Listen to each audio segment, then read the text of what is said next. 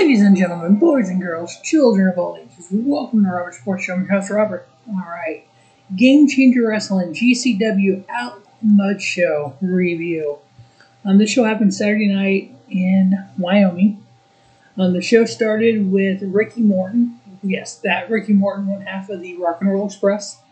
GCW gave him a nice little plaque where it celebrates his wrestling in 50, all 50 states. Um, so with this show in Wyoming, he was able to wrestle in all 50 states in his Hall of Fame career. Um, congratulations to Ricky Morton, one half of the Rock and Roll Express.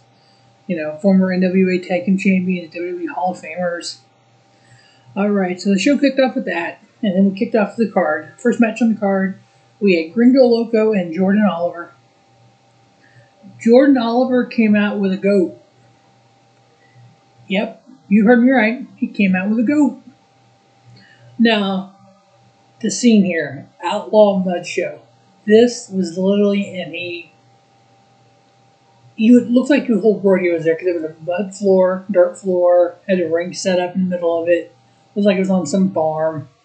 Um, so it was kind of game changer wrestling. This when we have the annual backyard wrestling four coming July Fourth weekend definitely going to check that stuff out. I've already purchased it on FITE TV.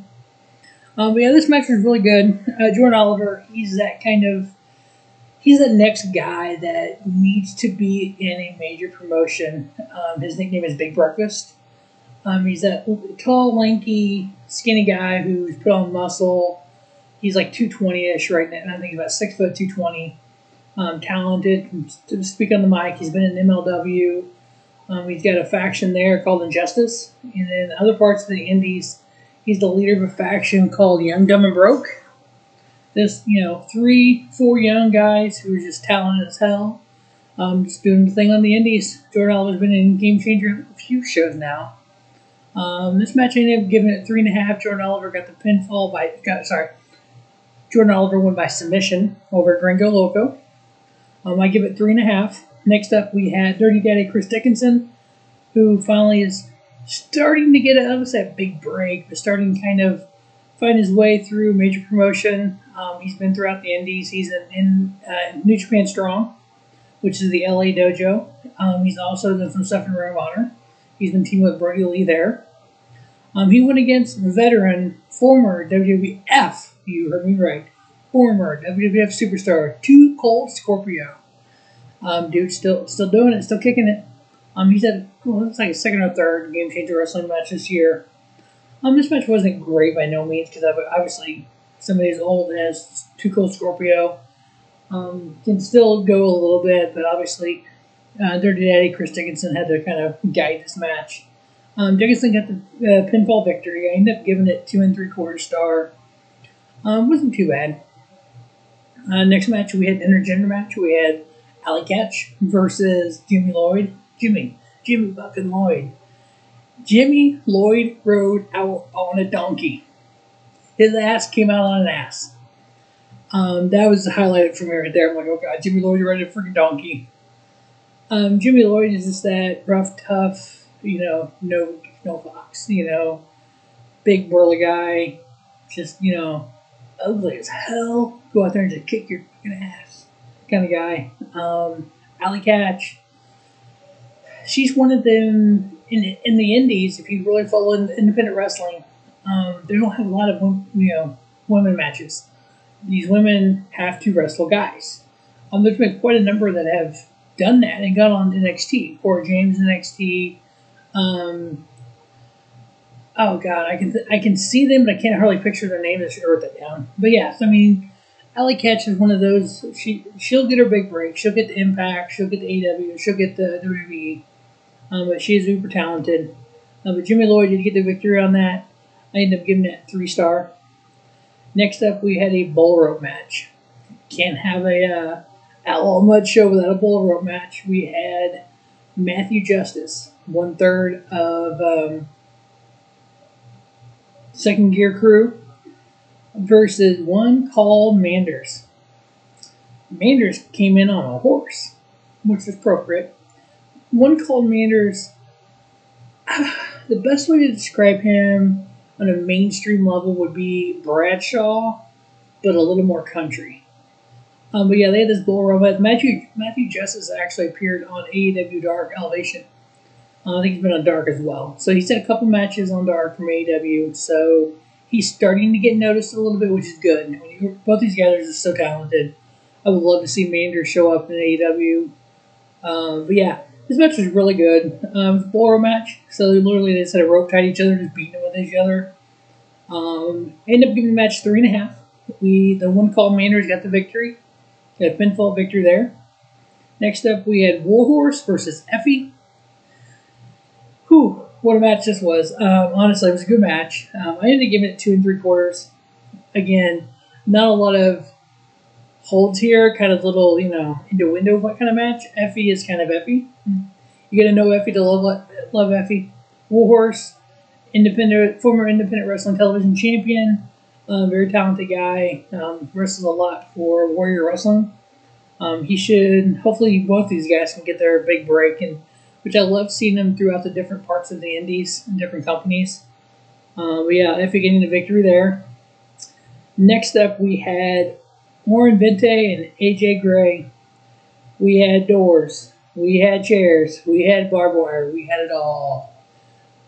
That's the one one interesting fact about Game Changer Wrestling is you'll see a lot of doors. Know, normally it's the six panel doors, the everyday doors you find at Home Depot. Oh no, they bring out the two panel doors once in a while, and then by those are expensive. Uh, but yeah, they had barbed wire, they had doors wrapped in barbed wire. They were doing stuff off the top rope. They came off the top, AJ Gray did, and went through a door set up with barbed wire. Um, but AJ Gray ended up getting the, actually getting the victory here. Bloody mess. Um, I ended up giving it three and a quarter. Um, I enjoyed the match actually. These death matches are hardcore style, whatever you want to call this. Sometimes they can be very challenging on a rating. Um, you're never you're never gonna have a five star classic here. No, you're not having it. You're gonna have that brawl. And when I rate these matches, I watch what we do with the door, what we do with the chair, the barbed wire, etc. How impactful is it? You know, I use those as kind of moves. You know, when they hit someone with a door, that's like a move. You know, and so it's like, did I enjoy that? Is it impactful? Did it make me go, whoa? Which they have. Um, their last show I think a couple matches I gave four to. So I mean, there's some really good matches here. Um, hopefully, at the beginning of July, I'll have Best of Game Changer 2021 up. Uh, but I definitely just want to do this review up. Uh, next match, the sub main, we had Ricky Morton versus um, Atticus Cogar. Uh, Cogar is part of a faction called um, 440. It's 44, the letter O, the letter H. So it's 440. A lot of people call it 440H. No, that's not how you say it. It's 440. Uh, Atticus Cogar, seen him fight Ricky Morton. It's just like the grandpa fighting his grandson almost. Um, not Ricky Morton. I mean, he can still go. I mean, this match was okay. It wasn't anything spectacular. You know, get a 62 year old man, Ricky Morton, uh, one half of the Rock and Roll Express. Been around for like ever and a day. Um, I mean, this dude wrestled before Hulk Hogan came out. So, I mean, that's how old this guy is. Um, match was, I give it two and three quarters. Ricky Morton did get the victory. Uh, it was a cute little match. I mean, again, he's in, wrestled in all 50 states, got a plaque show it now, which is amazing. The fact you've had matches in every single state is just crazy. What a career he's had. Um, doesn't look like he's going to hang it up anytime either. So, then our main event, we had a bunkhouse brawl for the Game Changer Wrestling World Heavyweight title. We had champion Nick Gage versus Mance Warner. Mancer, the leader of Second Gear Crew, Nick Gage. Nick, Nick Gage. Um, definitely, if you have not checked out Dark Side of the Ring, check out the Nick Gage show. Holy hell. Um, I was a huge fan of Nick Gage before I watched that. Um, J Man from the Pulse family was telling me about those Dark Side of the Ring. I'm like, yeah, I'll check them out one of these days. He's like, dude, you gotta check it because I he seen my game changers. He's like, dude, you gotta check out the engages. I'm like, all right. Dude had a real life death match. Um, he literally died for seven minutes. Um, he got cut right here. It's like, holy hell, dude. Um, been to jail. turn his life around. He's got a cult following in Game Changer and in the Indies that any promoter, any huge promoter like Vince, Tony Khan, they would probably give their right arm to have somebody on their roster over as Nick Gage is with the niche crowd of deathmatch wrestling. He comes out and that crowd just he is he is probably hotter in deathmatch wrestling than John Cena was at the height of John Cena. But yeah, this match was just insane. Uh, they went all over the arena. They went to the concession stand. Literally, they're wrestling and throwing each other on tables in the concession stand, throwing sodas at each other, chips on the ground, and you caught yeah, Allie Katch walking around. You saw think Manders was over there, Effy was over. You just see these guys just walking around watching. They just wanted to see it with the crowd. Um, they put all the arena tables, you know, the whole nine yards. It was a pretty good match. Um, Nick Gage ended up getting the retain, getting the, vic- the pinfall victory. Mance Warner, for those of you who don't know who he is, he is a redneck version of Stone Cold Steve Austin. Best way to describe him. Redneck Stone Cold Steve Austin. Beer drinking, just, you know, country, you know, whole, you know, it's the redneck version of Austin, basically. Um, yeah, Bunkhouse Brawl was a perfect kind of match for these two guys, especially at Outlaw Mud Show. Um, I give that match three and a quarter. Um, so, so, you know what? I did not average out. Normally, I average out the star rating because, like, um, Hell in the Cell averaged out to like three star overall, and I did not average this one out. But you know, if you've never seen Game Changer Wrestling, go on their YouTube channel. There is a show from last year that's on there free. If you want to check out some of these uh, guys and girls, also go to Hybrid Wrestling on YouTube. Check out that YouTube channel, and then JCW as well, Jersey Championship Wrestling which is what Game Changer was. So Game Changer started as Jersey Championship Wrestling, closed, got sold, re, re kind of redid itself as Game Changer. They're starting to bring back Jersey Championship Wrestling. It's actually going to be uh, it's on their own YouTube page. So you definitely want to check that out. They have a show coming up July 3rd, I believe. Um, they have several shows on there. They're actually pretty good shows as well and then Hybrid Wrestling. Those guys also from some of the Game Changer. Um, Ricky Shane Page, or uh, RS Pussy, as some of the people call him. He's at G- uh, uh, GCW only, uh, JCW only now. Um, but yeah, I mean, if you are into that kind of wrestling, check it out. Um, yeah, so this, this show averaged about a 3.1 rating overall. Um, so 3.08 round up. So it's not too bad. Um, so star match quality wise, in my opinion, again, wrestling I would say 90% opinion, 10% fact. In my opinion, this game changer Outlaw Mud Show match quality wise is equal to Hell in a Cell. So match quality wise, game changer is not that far behind the big boys. Now storyline and that kind of thing, yeah, they don't really kind of production value, yeah, no, not quite there. But um, all, all the shows are on game on FITE TV. Um, definitely check those out. and we'll do every review I can here. Again, first of the month, I'm gonna try to do a best of the first six months of 2021.